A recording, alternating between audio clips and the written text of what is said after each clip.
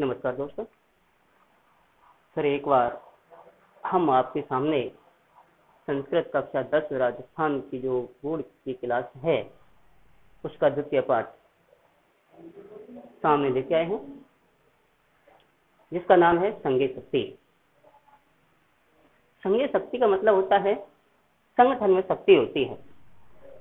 और इस पाठ में बताया गया है कि जो ये पाठ है नीति साहित्य हितो उपदेश से लिया गया है। नीति साहित्य हितो उपदेश से लिया गया है।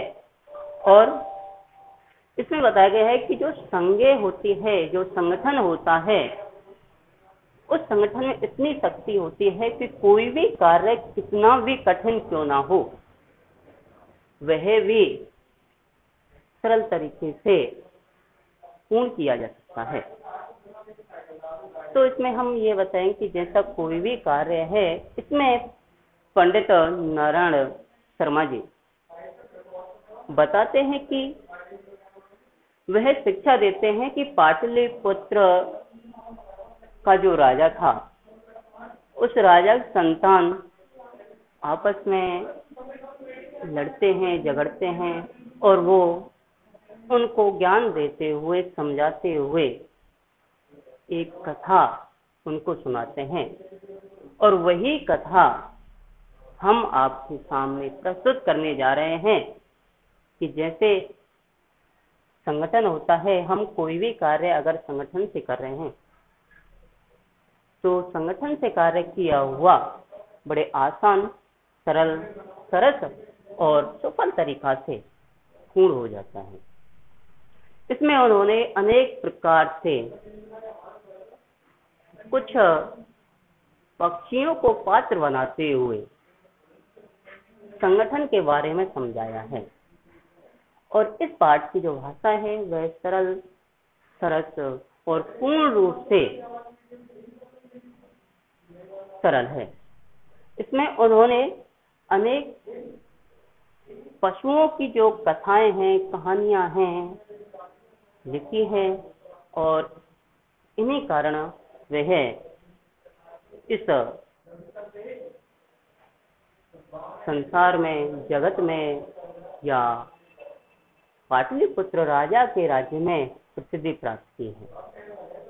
और उन्होंने इसी पाठ्यक्रम के माध्यम से बताया है और उन्होंने अनेक चार प्रकार के हितो उपदेश लिखे हैं, जिनमें से पहला मित्रालाभ सुहृद भेद विग्रह और संधि है। इन्हीं के आधार पर हम आपको बताएँगे कि संगे शक्ति है।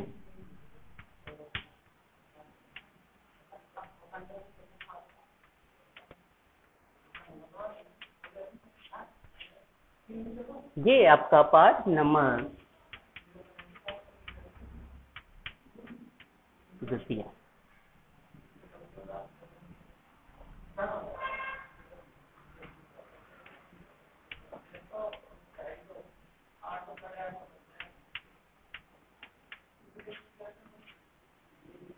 संगे शक्ति। संगे का मतलब मैंने आपको अभी बताया लेकिन फिर दोबारा बताता हूँ। संगे कहते हैं संगठन। शक्ति कहते हैं शक्ति होती है। संगठन में शक्ति होती है। ये इस बात का मूल है। और इसके जो रचिता हैं, जो इनके जो लिखने वाले हैं, वो हैं।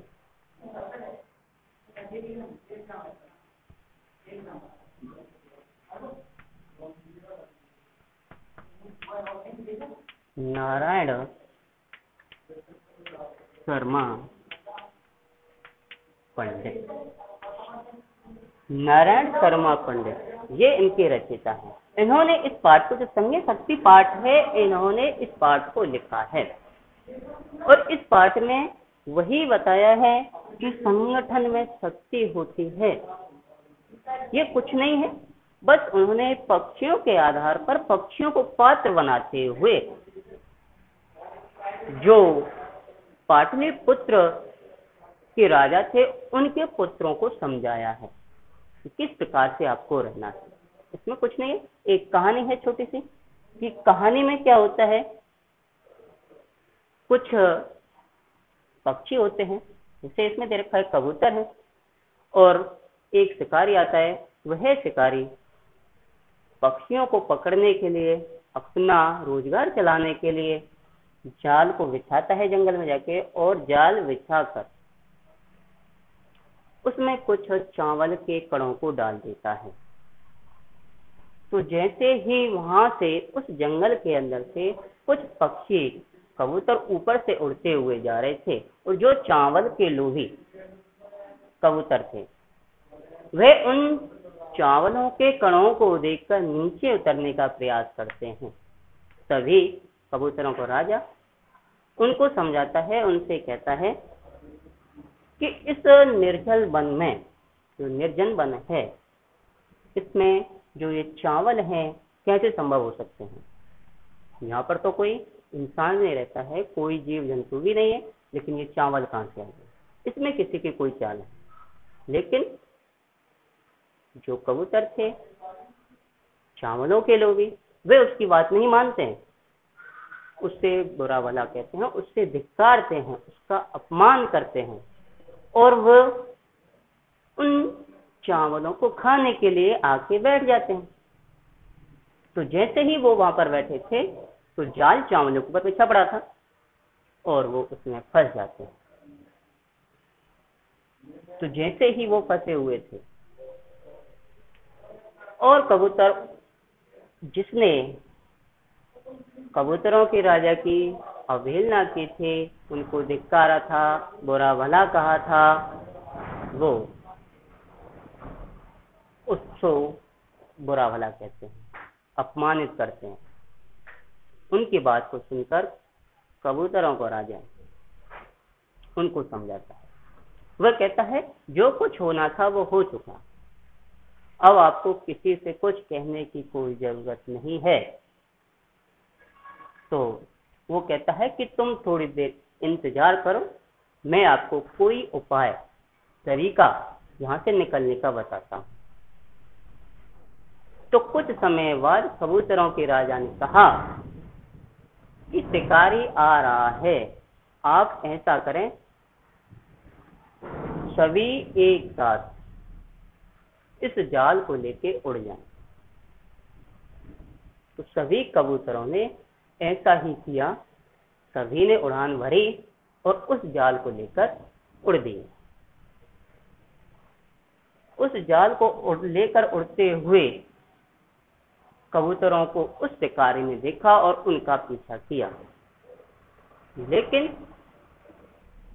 कुछ समय बाद वह जाल और कबूतर शिकारी की आँखों के आगे से ओझल हो गए। अर्थात दिखाई देना बंद हो गया।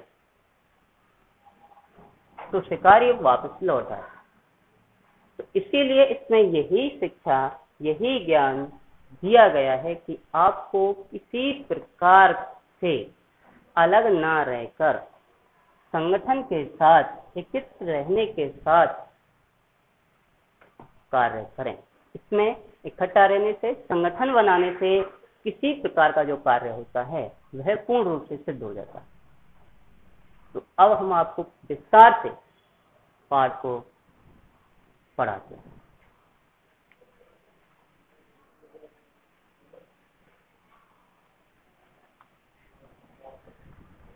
देखिए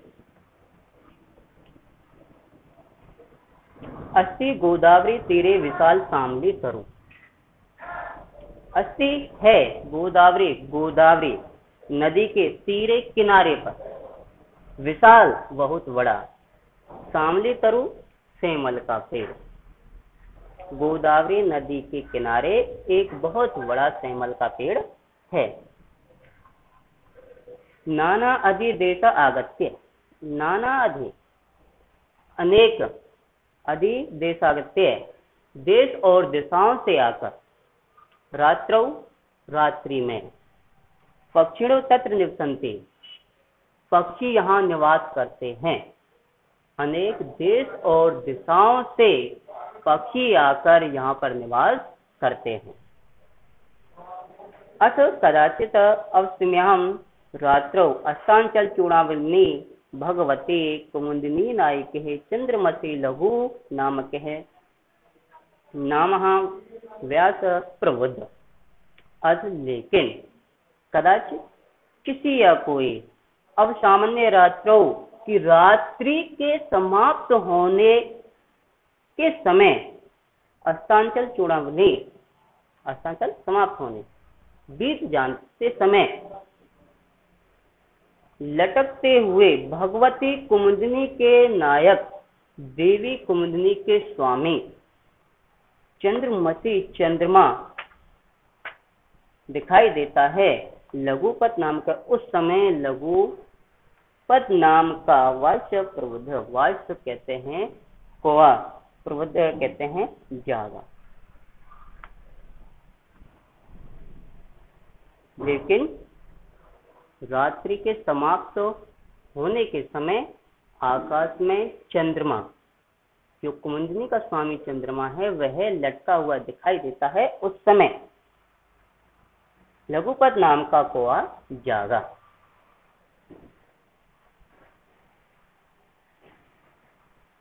कृतम एवं द्वितीय आयाम तो व्याधम पश्चात कृतम कहते हैं, के लिए? ये कहते हैं द्वितीयम कहते हैं, दूसरे आयतम कहते हैं, आते हुए। व्याधम कहते हैं शिकारी को। पश्चातम कहते हैं, देखा। यमराज के समान दूसरे शिकारी के रूप में आते हुए देखा। या इस प्रकार कह सकते हैं कि शिकारी को दूसरे यमराज के समान आते हुए देखा। तम अवलोक चिंतन तम कहते हैं उसे अवलोकित देखकर। अचिंतित सोचता है। उसे देखकर सोचता है। अध्यय प्रातः एवं अनिष्ट जातम अध्यय आज प्रातः सुबह से ही अनिष्ट दर्शनम अनिष्ट के दर्शन जातम हुए हैं कि आज सुबह से ही अनिष्ट के दर्शन हुए हैं, जिसे हम अछूत बोलते हैं। अशोध का मतलब कि जिससे हम किसी का जब सुबह सुबह मुँह देख लेते हैं और हमारा दिन बुरा जाता है, या अशुभ घटना हो जाती है, या हमारे साथ कुछ अनहोनी हो जाती है तो क्या कहते हैं कि आज वह अनिष्ट के दर्शन किए हैं। उसे हम अनिष्ट बोलते हैं। तो इसीलिए उसने कहा कि आज सुबह से ही अनिष्ट के दर्शन हुए। न जाने किम अवनितम दर्शती न, नहीं जाने जाने। नहीं जाने किम अवनितम। किम कहते हैं क्या? अवनितम कहते हैं अभद्र या बुरा, अनिष्ट दृत्यति देखना पड़ेगा। आज सुबह से ही अनिष्ट के दर्शन हुए नहीं जाने आज क्या बुरा देखना पड़ेगा। अतः तन अनुसरण क्रम है, व्याकुल चलते हैं। अतः अतः तन अनुसरण क्रम है, उसका अनुसरण करते हुए या उसके पीछे चलते हुए व्याकुल चलते हैं। व्याकुलता से चल देता है। उसका अनुसरण करते हुए जैसे वो शिकारी जा रहा था, उस शिकारी को जाने के साथ साथ पीछे चलते हुए व्याकुलता से चल देता है। अद तेन व्याधीन तंडन कणान विकारे जालम विस्तीर्णम। हद तेन लेकिन तेन उसने, लेकिन उसने व्याधीन शिकारी ने लेकिन उस शिकारी ने तेंदुलकरान चावलों के टुकड़ों को विक्रिय विक्रिय कहते हैं, बिखेर कर जालम, जाल को विस्तीर्णम फैला दिया। लेकिन उस शिकारी ने चावलों को बिखेर कर उसके ऊपर जाल को फैला दिया। से चे प्रच्छन्न भूतवा स्थित। से, वह, चे, और और वह। प्रच्छिन्नो छुप कर, भूतवा होकर स्थित है दुबक जाता है। और वह छुप कर दुबक जाता है।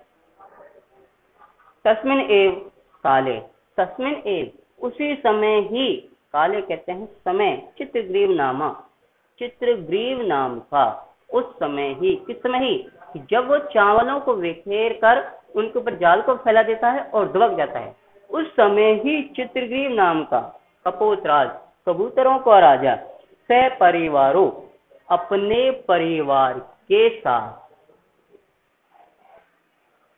व्यति व्यति कहते हैं उड़ता हुआ विसर्पतान विसर्पतान कहते हैं, उस जगह से तान कहते हैं, उन्होंने तंडुल कणान तंडुल कणान कहते हैं चावलों के लोभी, अवलोक के मासाम अवलोक के मासाम कहते हैं देखा। जैसे ही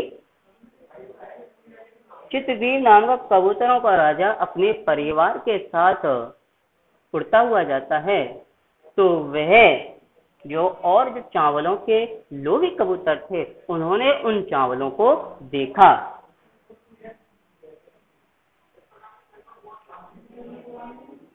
तन कवोत, कवोतराज टंडुल कणा लवधान कपोहद प्रति आहा तन कहते हैं, तद कहते हैं, उन।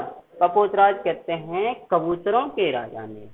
उस कबूतरों के राजा ने टंडुल कणान लुब्धान चावलों के, टुकड़ों के लोभी कबूतरों के प्रति आहा और देखकर कहा। उस कबूतरों के राजा कपोत राज ने चावलों के लोभी कबूतरों की ओर देखकर कहा, क्या कहा? देखें। कुतो अत्र निर्जने बने चंडुल कणान संभव है। कुतो अत्र कहा? अत्र यहाँ। कहा से यहाँ? निर्जन बने निर्जन वन में। जो निर्जन वन है, निर्जन वन का मतलब होता है निर कहते हैं बिना जन कहते हैं व्यक्तियों के। बिना व्यक्तियों वाला जो वन होता है, उसे निर्जन वन कहते हैं। कि कहा? इस निर्जन वन में चंदुल कान जो चावल है, संभव कहते हैं, संभव है कि इस निर्जन वन में चावल कैसे संभव है? तन्य रुपयताम तावत, तन्य रुपयताम, कुछ समय के लिए रुपयताम रुकिए, कुछ समय के लिए रुकिए तावत, तब तक। मैं कुछ सोचता हूँ, तब तक कुछ समय के लिए रुकिए। भद्र इदम ने पश्यामी। भद्र भद्र का मतलब होता है कल्याण ने नहीं। पश्यामी, देख रहा हूँ कि मैं इसमें कल्याण नहीं देख रहा हूँ। किसमें कल्याण नहीं देख रहा है? कि जब भाई निर्जन वन में अगर चावल मिल रहे हैं तो उसने कहा कि इसमें कोई, किसी ने कुछ धोखा किया है कि भाई निर्जन वन में चावल कहाँ से आ गए? इसलिए वो कहता है कि मैं इसमें कल्याण नहीं देख रहा हूँ, भलाई नहीं देख रहा हूँ। सर्वथा विचारित कर्म नहीं कर्तव्यम, सर्वथा, हमेशा। अविचारितम। विगर विचारे। कार्य न कर्तव्यम कार्य नहीं करना चाहिए। हमेशा विगर विचारे कार्य नहीं करना चाहिए। एतद वचनम श्रुत्वा एतत यह वचनम वचन श्रुतवा सुनकर, यह वचन सुनकर क्वेश्चन कपोत सैर पर आहार एक कोई कबूतर उसका उपहास करता हुआ बोला, मज़ाक बनाता हुआ बोला। क्या बोला? ईर्षि घृणी तद संतुष्टु क्रोधता नित्य संकेता। ईर्षि ईर्षा करने वाला, घृणी घृणा करने वाला जो संतुष्ट नहीं होता है।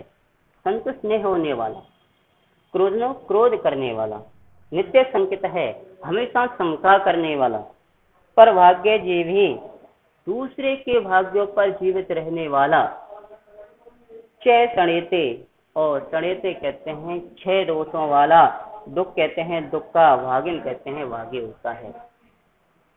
जो ईर्षा करने वाला, घृणा करने वाला, संतुष्ट नहीं होने वाला, क्रोध करने वाला, हमेशा संख्या करने वाला, दूसरे जीवों पर दूसरे जीवों के भाग्य पर जीवित रहने वाला होता है, वह इस प्रकार के छह अवगुणों का बाद जो व्यक्ति होता है, वह दुखी हमेशा दुखी होता है, या दुख का भागी होता है, या दुख प्राप्त होता है। तद श्रुतवा इस प्रकार सुनकर कपूर से कबूतरों के राजा के शंका कहते हैं, शंका छह कहते हैं और अनादृत्य कहते हैं, अनादर करके सर्वे सभी कपोता तत् कबूतर वहाँ बैठ जाते हैं। इस प्रकार सुनकर कबूतरों की राजा की शंका करके और अनादर करके सभी कबूतर वहाँ पर बैठ जाते हैं। अनंतरम सर्वे जालेन। अनंतरम कहते हैं उसके बाद में। सर्वे सभी, उसके बाद में सभी, किसके बाद में? जब वह वहाँ पर बैठ जाते हैं, जाल पर बैठ जाते हैं, उसके बाद में। जालिन जाल में वृद्धा बंद अब बंध जाते हैं। उसके बाद में सभी कबूतर उस जाल में बंध जाते हैं या फंस जाते हैं। ततो यस्य है वचनात्। जिसके वचनों को तत्र अविंश अस्तम सर्वेत्र प्रवंती तदवस्तम बैठे हुए थे या बैठे थे, जिसके वचनों को, जिसकी वाणी को सुनकर वे बैठे थे, उसका तिरस्कार करना चालू कर देते हैं, उससे धिक्कारते हैं। सत्य तिरस्कारम श्रुत्वा सत्य उसके तिरस्कारम तिरस्कार को श्रुत्वा सुनकर उसके तिरस्कार को सुनकर। चित्रग्रीव उवाच जो चित्रग्रीव नाम का कबूतर था, वह बोला, न अयम अस्य दोष, न नहीं है अयम इसका दोष दोष, इसमें इसका कोई दोष नहीं है। विपत काले विपत्ति के समय विपत्ति के समय। विस्मय एवं कापस लक्षणम। आश्चर्य ही। कायर पुरुष का लक्षण होता है। विपत्ति के समय आश्चर्य ही कायर पुरुष का लक्षण होता है। कर अत्य धैर्य अवलंबी है। यहाँ धैर्य कहते हैं धैर्य, हिम्मत। प्रतिकारम चिंत्याम। मैं कुछ उपाय सोचता हूँ। इस समय या इस क्षण आप कुछ धैर्य रखिए, तसल्ली रखिए, हिम्मत रखिए, मैं यहाँ से निकलने का कोई उपाय सोचता हूँ।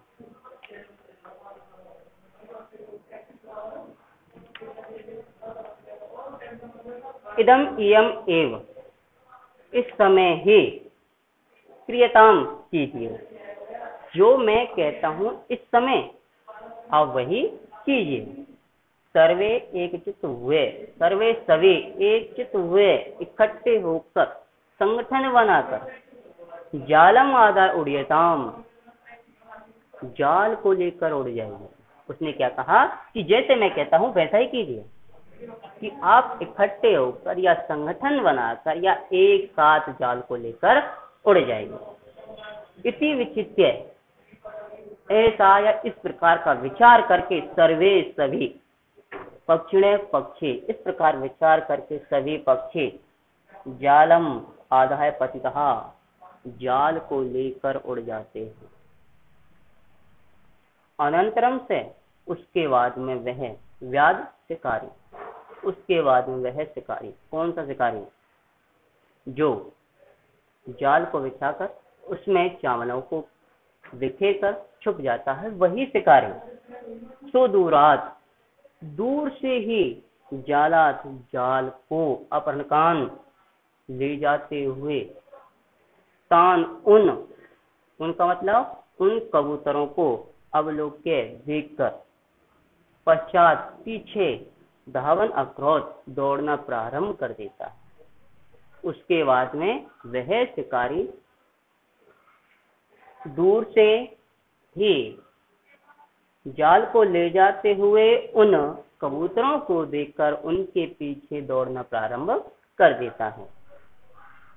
तदस्त तेसु, कुछ समय बाद उन चक्षु विषय क्रांतिशु आँखों से ओझल हो जाने पर, दिखाई ना देने पर पक्षी तो पक्षियों के से वह जाधो शिकारी निवृत्त है, लौट आता है।